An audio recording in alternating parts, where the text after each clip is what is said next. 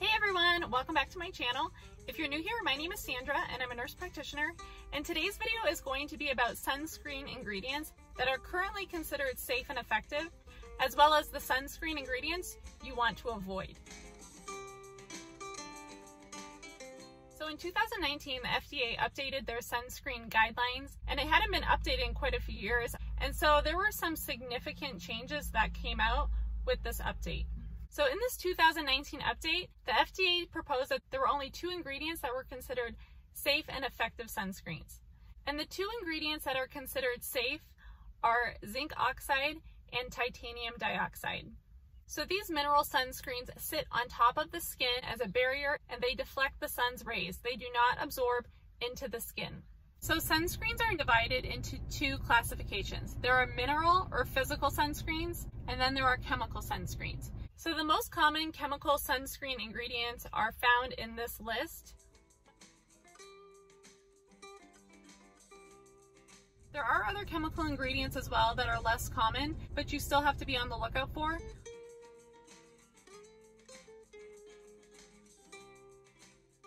because these chemical ingredients can penetrate within the skin and enter the bloodstream, and even after one use can be detected in the bloodstream for several weeks afterwards.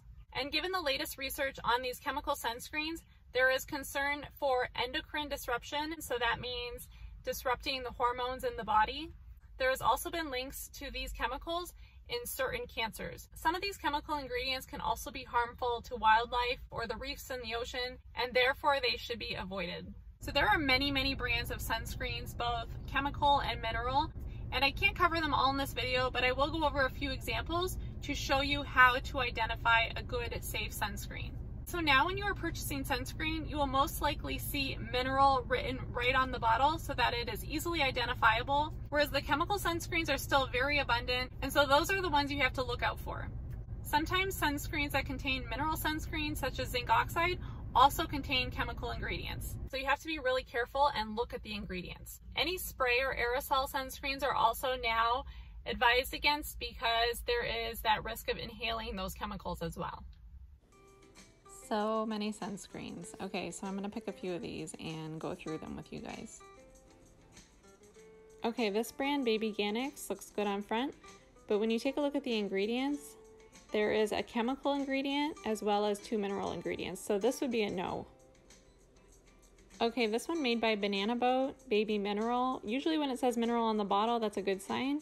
And yes, this one only has mineral active ingredients. So this one is a yes. Okay, this one made by Neutrogena has five chemical ingredients. So this one is an absolute no. This one is made by Coppertone. It says 100% mineral on the bottle. And when you take a look at the ingredients, it only has zinc oxide. So this one would be a yes.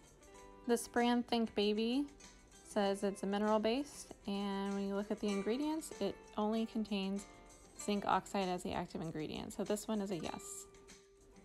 Okay, this is another one by Banana Boat, but when you look at the ingredients, it has four chemical ingredients and it's also in a spray bottle, and so you don't want to use this one on your kids. Another one by Neutrogena, multiple chemical ingredients, so this one is a no. Here's another one by Babyganics, says mineral right on the bottle, and when you look at the ingredients, it has two active mineral ingredients, so this one's a yes. So this one by Sunbum has four chemical ingredients, so this one is a no. And then this one is their mineral version, and when you flip it over, it only has zinc oxide in it, so this one would be a yes.